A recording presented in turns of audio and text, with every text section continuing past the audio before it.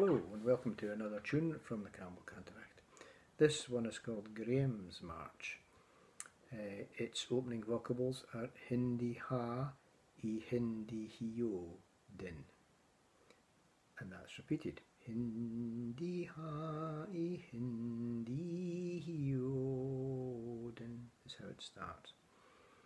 The name is of interest. It's only known as Graham's March in the Campbell Canntaireachd in the other sources, Angus Mackay, John MacDougall Gillies, David Glen, it's given a Gaelic title which has three asterisks in it. An asterisk always raise eyebrows, of course, was something unmentionable meant. The English translation is drizzle on the stone. It's been postulated that Graham, whether it was Graham who was Claverhouse or Graham who was Montrose, was much disliked, and this title was a disrespectful title, um, suggesting that some form of uh, human uh, fluid uh, was um, placed upon a stone in some way or another. Who knows? It's only speculation, but it's quite amusing. The tune was also used apparently as a demonstrating tune by one of the Piobaireachd Society's instructors, John Grant. He was not successful, his students didn't like him, and he was quickly sacked. But he apparently used this tune and water falling onto the pavement outside his house to demonstrate how Pibroch worked. Quite interesting that. I actually think that the idea of running water is good for Pibroch, the idea of a water wheel. It's a very sort of continuous sound often, and maybe John Grant had a point, but he wasn't liked. Anyway, let's get on to the tune. Hindi ha hindi odin. These are the Canntaireachd's vocables.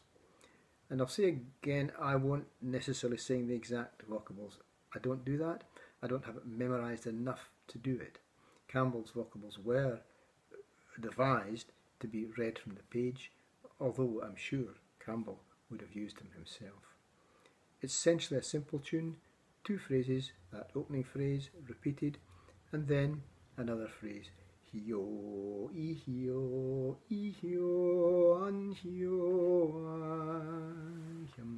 and that's all there is to it. Two phrases, second line, uh, phrase one once, phrase two twice, and the third line, phrase one and phrase two once each time.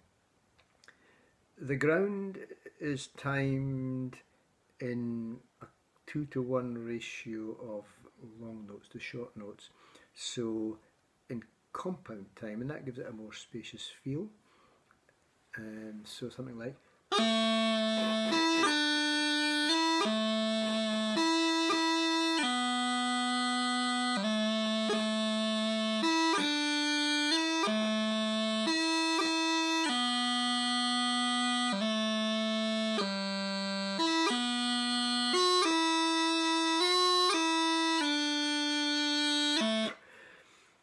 So quite relaxed, quite spacious.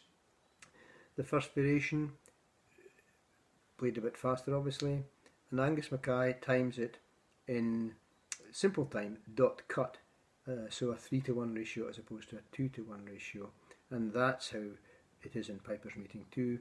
Patrick when he translated this wasn't aware that it was an Angus Mackay and it's interesting that he's come up with the same timing. So the first variation just that little bit brisker and with the kind of dot cut feel rather than the compound time feel.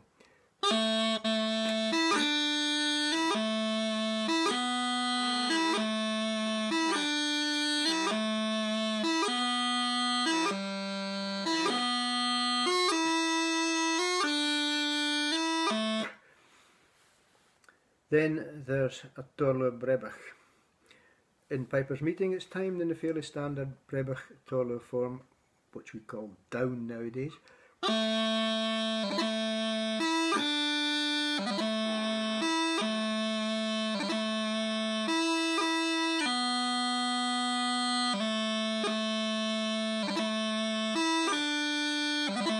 So on and so forth. However, if you look at all the sources, the manuscript sources staff notation, they all are in fact timed in a kind of a round fashion rather than particularly down or particularly up. Uh, so something like this.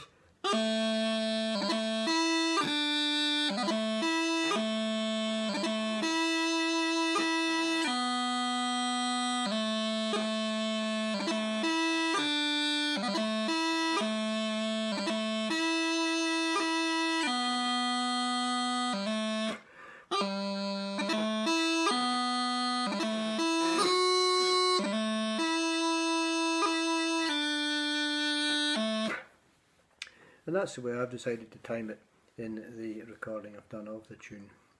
Then there's a Crunluath with uh, the standard Crunluath timing, uh, which really echoes that interpretation of the Taorluath, you see. So because Taorluath was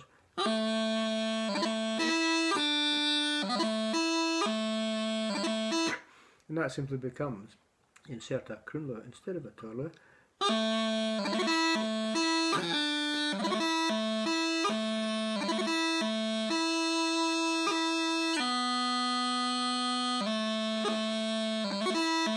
so you keep a similar kind of rhythm and feel going. It's just all a matter of taste and I thought I would do that just to allow that style to be heard. So, a plain tune about a man who perhaps was uh, disliked and a rude title was therefore given in the manuscripts, but Campbell gave it the polite title Graham's March. I hope you enjoyed it. Thanks for looking in, and uh, we hope to see you again. Thank you. Bye bye.